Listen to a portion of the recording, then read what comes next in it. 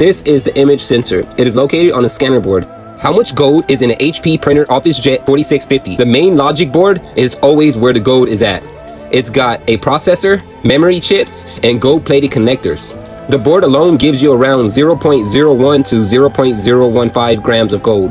The touchscreen models might have 0.002 grams uh, from its ribbon cables. The flex connectors and button contacts have tiny traces of gold, but the power board, motor, and scanners mostly steel, copper, and plastic. No gold here, except for in the scanner area. This is the image sensor. It is located on the scanner board. The gold bonding wires plus the PCB board plating is about 0.002 to 0.004 grams of gold. So in total, you're looking around 0.02 grams of gold from the whole printer. That's about $1.50 in gold at today's prices. Uh, uh, the takeaway, uh, one printer's not a payday, but if you have 50 of them or more, it's definitely going to be about $100 in gold. Uh, so that is a plus. Uh, the gold does add up. And don't forget, the copper and steel, that all